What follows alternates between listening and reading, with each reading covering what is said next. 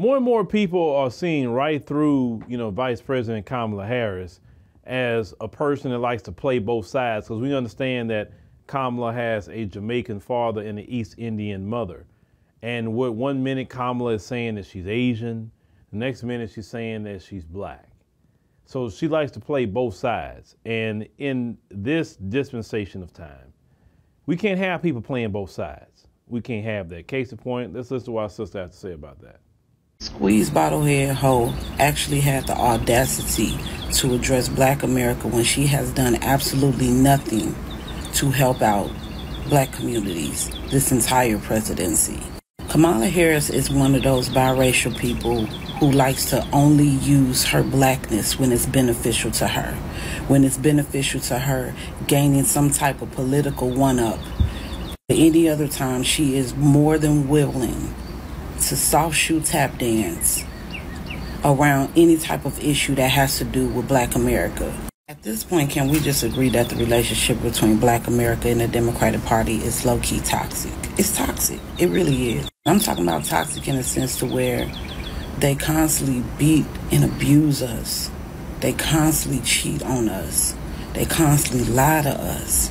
Yet somehow, when that four year mark is starting to come to an end, now they want to give us little flowers and little gifts and trinkets and shit and tell us that they'll never do it again and that they're sorry and, and that they love us. Only to turn around and do the shit again once we let them back into the office. See, Kamala Harris is the type of person that, you know, she definitely has dual allegiances, but her allegiance definitely is more to herself. So whatever side she got to play that day, she's going to play. Hey, if I get around black folks, okay, hey, I'm black like you and then she get around Asians. Hey, I'm I'm Asian like you. I'm an East Indian, and Black Americans can't do that. We can't jump in and out of different communities saying what we are. Right?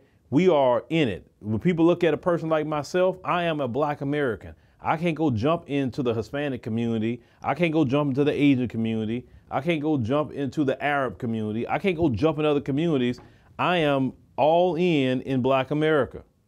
And that's fine because that's what God created me to be, is a black American man.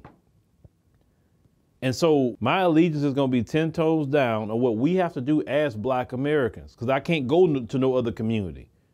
Because I'm number one, I'm not going to be accepted there like that. If you go to other communities, you are a guest over there. You're, you're not part of their particular group and their particular families. And that's quite all right because we have our own over here, right? And like I told everybody, we have not had the first black American president. We haven't, not yet. That's a part of our lineage. We had a first lady that was our lineage, but we haven't had a, a president. And then look at it when we had Barack Obama. We say, oh, he's a black president, but he had a dual allegiance too. Because every time you look up, he's trying to please them folks. His mother is one of the folks. So that's a dual allegiance right there at least with him. Now, I will not indict all people like that, okay, who have the mother or father of a different community, because I've seen some people with a mother or father of a different community be hardcore for black America more than some black folks with two black parents. So I'm not going to ever indict all of them. But I'm just saying in the political sphere that what we have seen with Kamala Harris and Barack Obama, they've been the type to do that.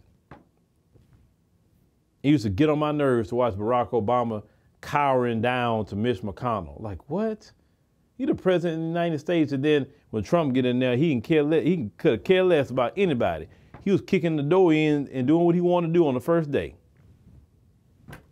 And that's when people say, oh, really? So the president do kind of got a little power to do some things, right?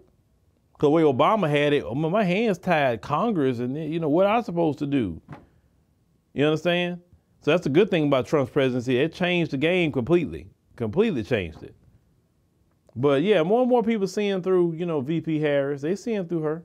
But that's why people, you got to think about it. She tried to run for president and she flopped. Why? Because she could not connect with the people like that. So she had to go ride Joe Biden's coattails to get in that White House.